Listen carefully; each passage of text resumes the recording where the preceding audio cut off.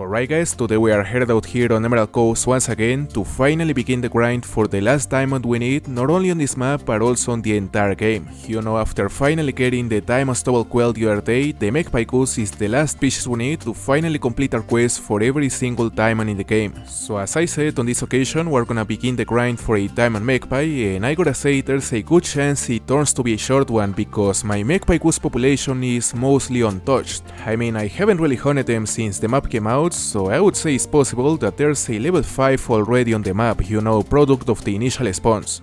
Well, it didn't take too long, there we have the first max estimate coming in, he's a level 4.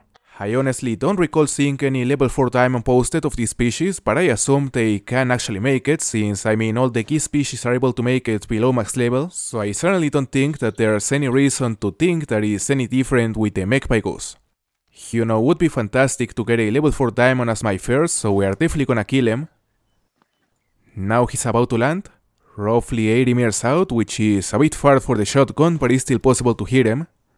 I'ma use the 12 gauge Cacciatore. He's down. And that other female is down as well. So let's see a score of this level 4, hopefully diamond. 3.71, man he's big. You know the diamond score is 3.85 so this guy is very close and in fact I don't remember getting a level 4 bigger than this one which means that there is a personal best.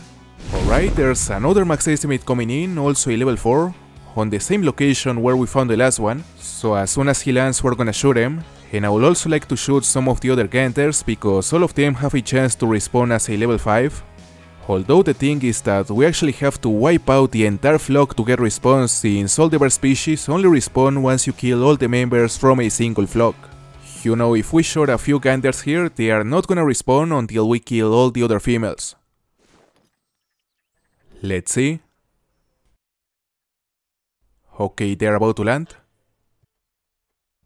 And apparently very close to us, which is not necessarily a good thing. So I'ma shoot the four first and then I'ma go for a few more. We got a second. And there goes the other male. Which is also gonna die in a moment, we hit him twice. Now let's see if this max estimate level 4 gives us a massive surprise and there is actually diamond. 3.78, oh my god. He is even bigger than the last one, surprisingly, and very close from being our first diamond Magpie Goose. Frankly, seeing how frequently these huge cores appear on level 4s, I think it's very likely that they can actually be big enough without being max level. No shot. I'm pretty sure that's Simela. I mean, there's absolutely no doubt about it, that is a level 2 female melanistic Magpie Goose. We are still yet to see any level 5 yet, but honestly if you ask me I would undoubtedly choose a melanistic over a diamond every single day. You know, the fact that we have a melanistic as an initial spawn and not a diamond is honestly quite surprising since the melanistics are way rarer than the diamonds. Now, my only doubt here is whether to drop this rare using the Cacciatore or using the recurve. And you may ask like why the recurve is even an option when the Cacciatore is obviously a way better choice to drop a goose, but a better question in my opinion would be how many of these melanistics do you think have been dropped with the recurve so far? I personally haven't seen any. So potentially being the first to do so is certainly enough motivation to use it on this guy as soon as she lands. Okay, apparently she's gonna land right in front of us, which is amazing. And that's it, she's down. Very simple shot, she landed like 20 meters out, so there was no way we missed that. So I guess that is enough kills for today, I mean we killed like 50, which is not a lot but is a good start. And certainly getting this beautiful melanistic is a fantastic outcome for such a short hunt regardless of not being able to get a diamond, although it is an initial spawn. She's a 2.87 silver, we hit her using the recurve for only 10.94 meters, basically nothing, and that is our first trophy magpie, a beautiful melanistic. Alright guys, now we're back on multiplayer, we'll be doing some server hopping for the rest of the hunt, and only a few minutes after joining the first session I just stumbled across the track of a potential level 5 Banteng. You know, there's a very good chance this will actually be the first diamond of the hunt, so we gotta find it. And there's the herd. Oh. Well, that's definitely the big one. Man, top estimate of 145. That's gotta be a diamond, although I'm pretty sure the horns are not the diamond horns. You know, the max estimate level 4 bantengs can only have two types of horns and I'm pretty sure this one has the small ones. Still I'ma try to intercept him and use the recurve because we cannot rule out that it may still have a chance to be a diamond. That one is a level 3. He should come this way in a moment, and there comes the big one. Really big 4 with a massive estimate. Although we shouldn't get our hopes up too much because as I said the horns are not really as big, they could have been bigger. Let's see. And that was a viral hit, probably double lung. I'ma go for the second shot. And that's it. Nice way to drop this monster, luckily we managed to intercept him and get him using this great bow. And although I would love to do the same on this cow, I'ma use the rhino this time. Okay. Well, it took us 4 shots, not the best placement. Anyway, let's see if this banteng is big enough to be a diamond. I honestly doubt it, but let's see. And yeah, 134.05, a disappointing score considering that the estimate was massive, it scored pretty much at the bottom of it, but it's not really a surprise, I mean the horns were not promising. Now this one right here is another promising track, the track of a potential level 9 crocodile. Although I gotta say that compared to the Bantengs, only a fraction of the max estimate crocodiles are gonna be level 9, so again, we shouldn't get our hopes up too much. Oh my god, there he is, he was hiding on the water. Level 7 though. Not a good hit. I'ma go for the second shot.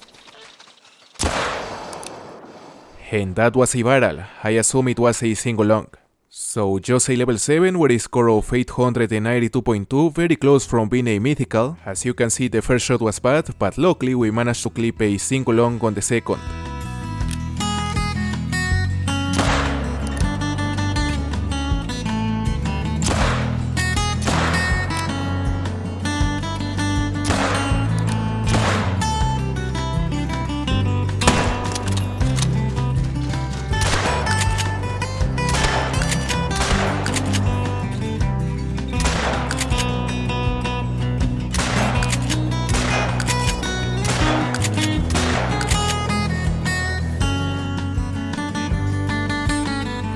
Okay guys, now we're on a different server and this time I came across a track of what may be a legendary red fox. Certainly finding one of these is not the most exciting thing considering how many diamond red foxes I've gotten in the past, but it's still intriguing if we take into account that we're yet to find a diamond red fox here on Emerald Coast. So even though I would choose many diamonds before a diamond red fox, I would absolutely love if this guy turns to be a level 9.